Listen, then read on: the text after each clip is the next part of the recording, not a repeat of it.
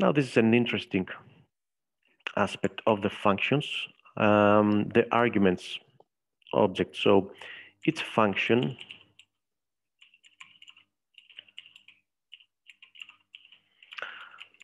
has these arguments objects available. Uh, sorry, it's arguments, plural.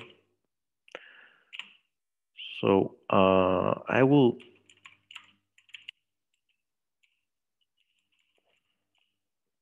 run the function using three arguments instead of two. We have two parameters, two placeholders for values, let's say here in our function, but instead we are running, we're calling the function with three arguments. This is possible in JavaScript. We don't have uh, like the limitation of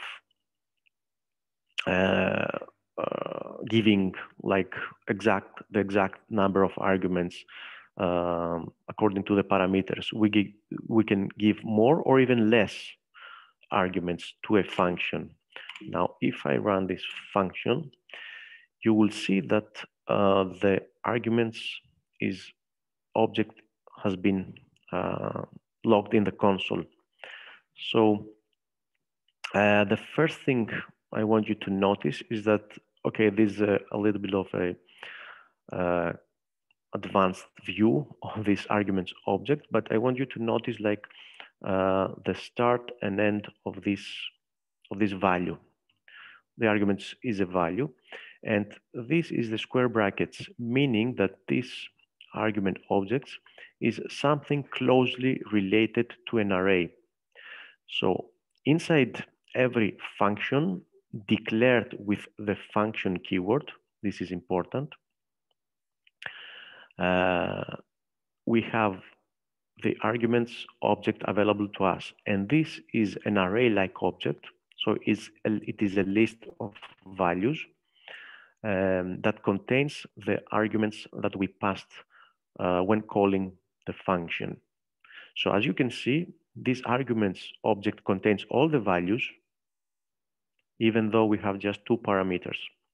So everything we pass as an argument. It can be as uh, long as we want. This, this list can be as long as we want. It is contained in this uh, array-like object. So the arguments has, uh, just like the array, an indexing system. So we have 0, 1, 2, 3, 4, etc. And at each point, we have the values passed as arguments uh, according to the order in which they were passed. So 2 is in the first uh, zero index, the first place, three, the second, four, and so on. And um, an important property of the arguments object is the length. So I will try to run this code. Let me see. Um, okay. I will use the debugger keyword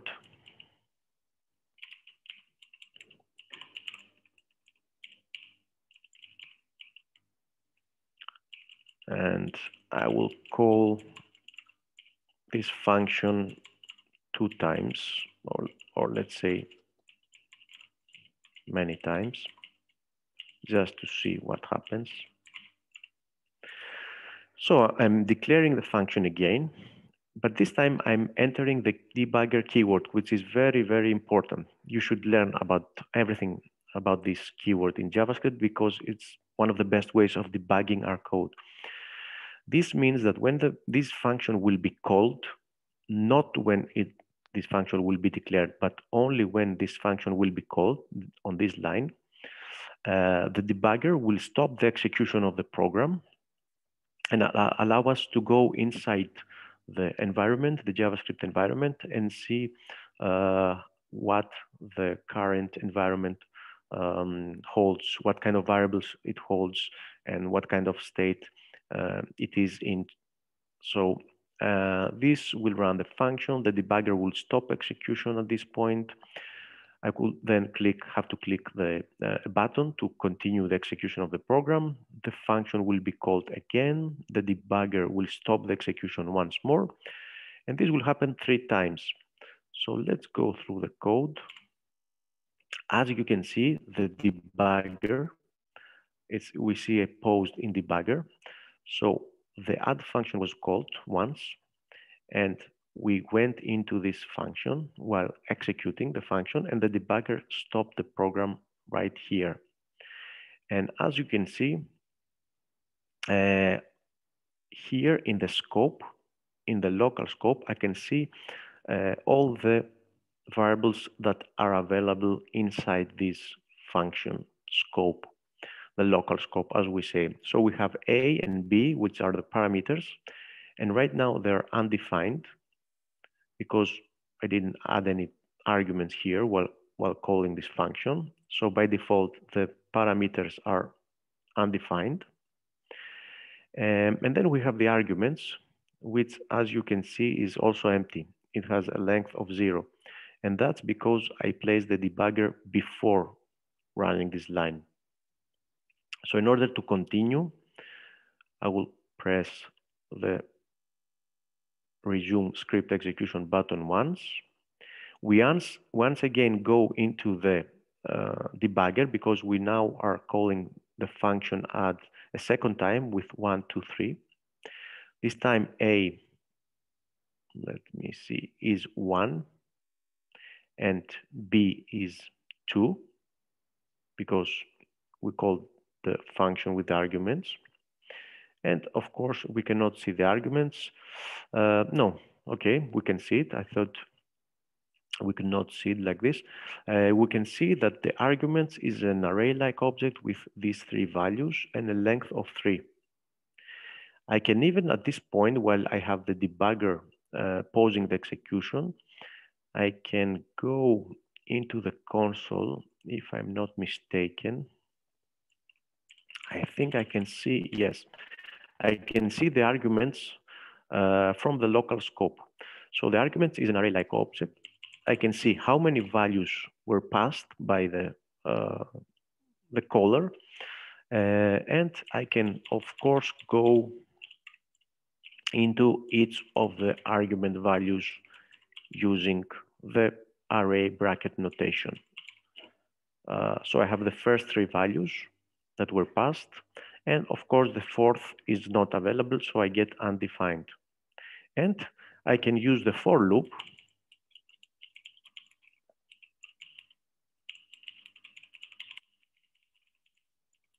as you can see, just like an ordinary array, to go through the arguments.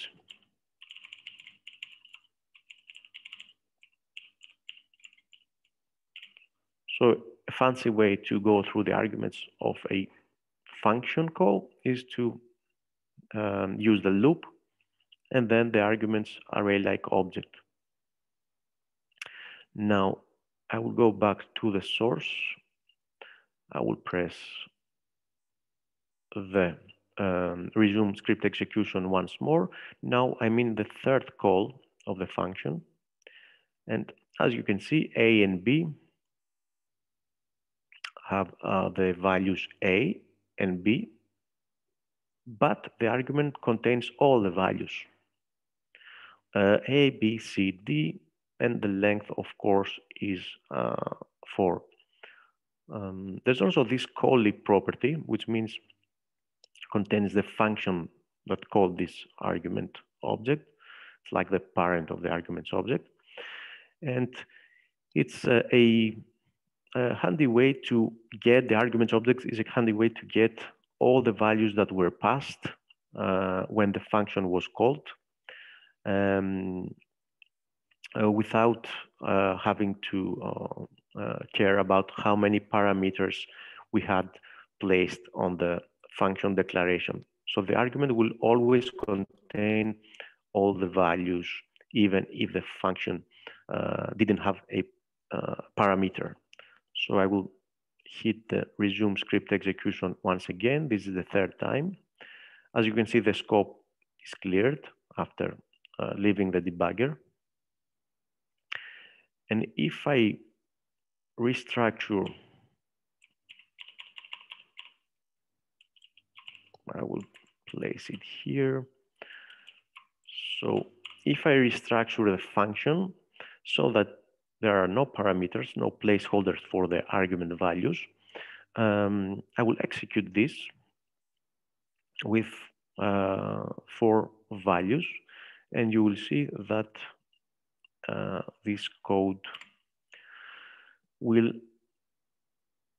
this function, even though uh, it doesn't have any parameters, it has the all the arguments inside this argument object. Um, and thus we can, let's say, go through the uh, arguments and loop over them and do something, uh, or use the arguments, brackets, notation uh, to do something with them. Now, what's the use of the arguments, uh, you might say? Um, to be honest, it's something that we don't use very often, although as you can see, there's a lot of power inside this uh, keyword. Um, one uh, uh, case where we might want to use the arguments is when we don't have a uh, defined uh, or a definite uh, number of uh, parameters. For example, I might want to have a function that adds numbers, okay?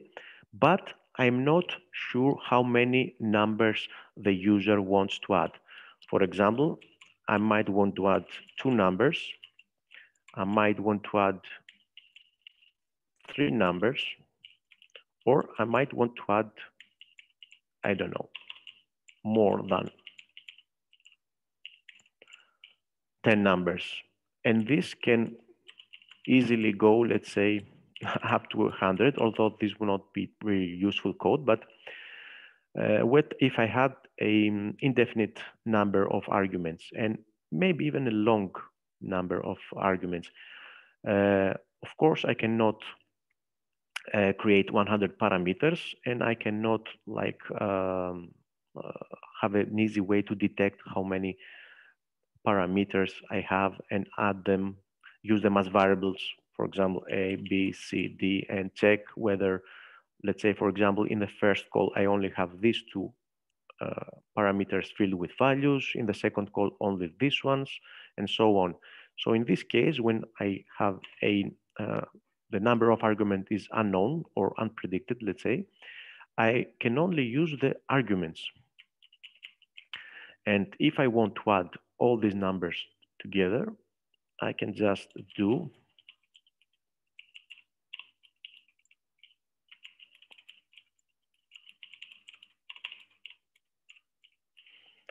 and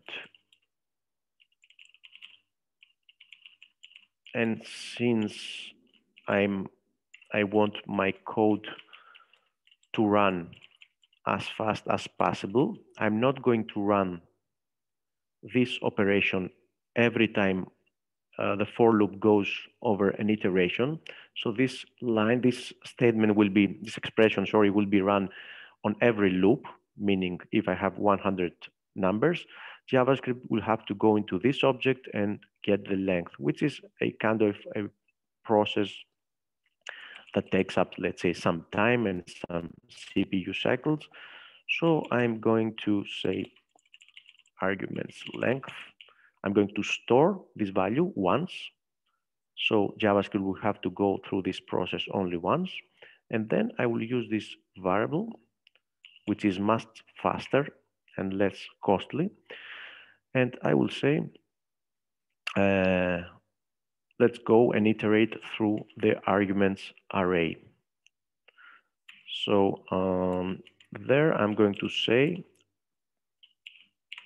add the arguments like this and console log sum. So let's go over this code again. I can run this function without a single parameter, as you can see, and I can place or call this function with as many arguments as I want. Now, the number of arguments here is uh, whatever I want. So I first, uh, sorry, this is my mistake. I cannot reassign a value to a constant. So I will say let sum equal zero then store the length of the arguments object in a variable so as not to run this operation again and again, just uh, saving a couple of milliseconds from my execution. And then I'm using the for loop to go over the arguments uh, array like object. And then for each argument value, I'm going to add the value to the sum. And if this code uh, works, I will get the sum of one and two, the sum of one, two, three, and the sum of these numbers. So let's make this easier to test. So we have three, we have six, and we have 10, and our code works. So this is a case where we might want to use the arguments and uh, uh, take as input a uh, number of uh, a variable, a number of arguments, meaning from one or zero to up a million or a million or more. Um, questions?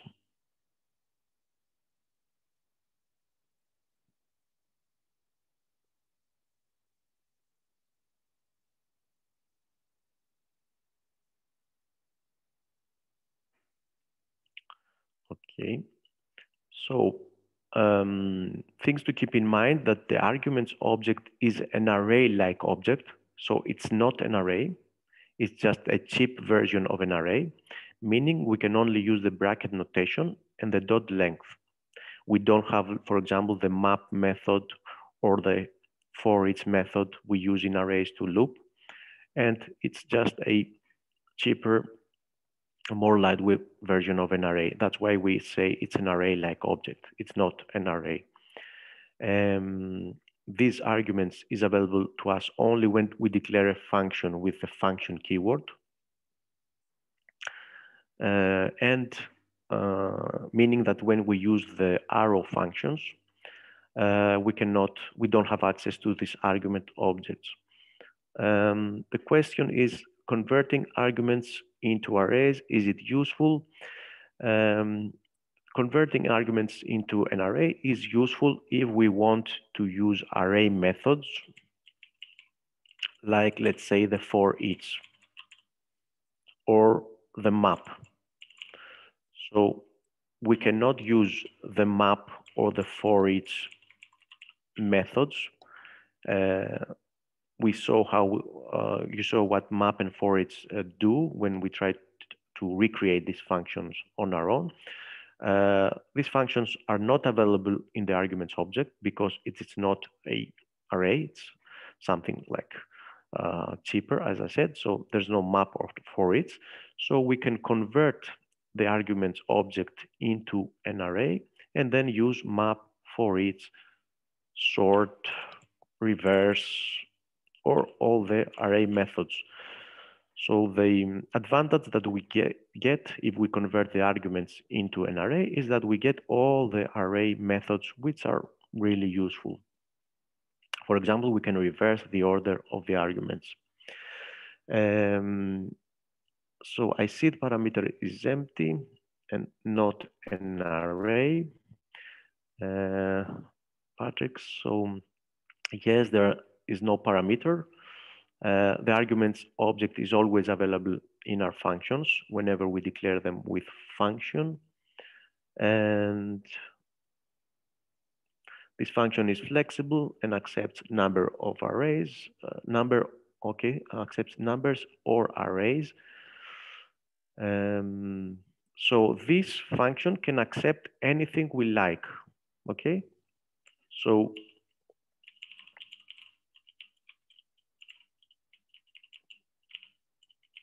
uh, okay, let's let's rewrite the code. The values can be anything we want. So I can, I will rewrite the code and I will explain what I'm doing just to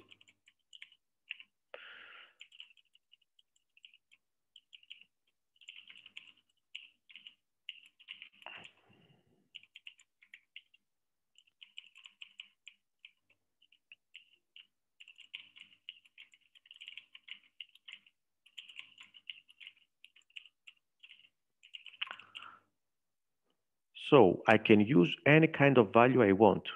So I rename this function to concat. Uh, I'm initializing an empty string. And what I'm going to do, I'm going to concatenate string values that are passed as arguments and then create a, uh, a string, a big string. So um, as you can see, there's an error here. There's a zero. And um, I don't know why we have this zero. Uh, we can use any kind of value. Uh, no, I'm not sure why. Ah, okay, yes. I think, um, now let's debug uh, again. Can I call my function add and not concat? I can call it whatever I want. Okay, the function name can be everything, anything we want. So I will just um, debug, let's say here.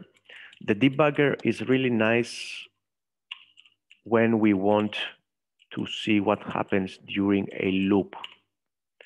So take a look at the code for couple of seconds before I run it and use the debugger.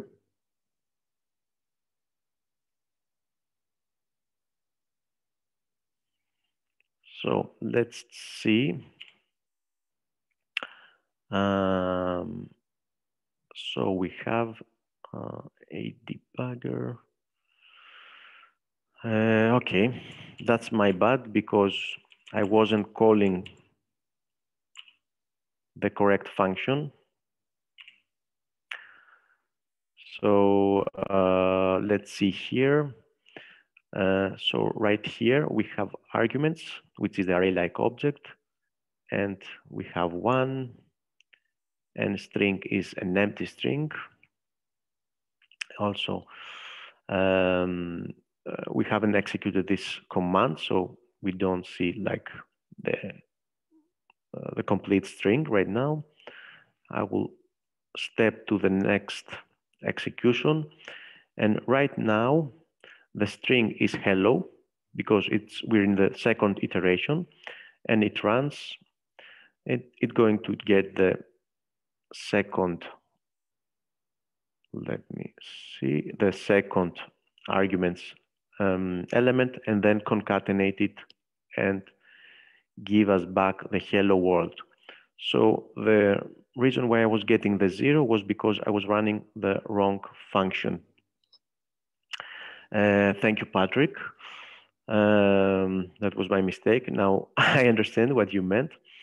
Uh, another question is, can we use args like we use arguments, or I guess you mean parameters.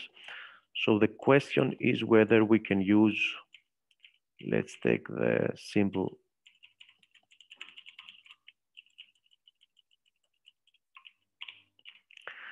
No, we cannot use it because if we place a parameter named arguments here, it will override the argument objects.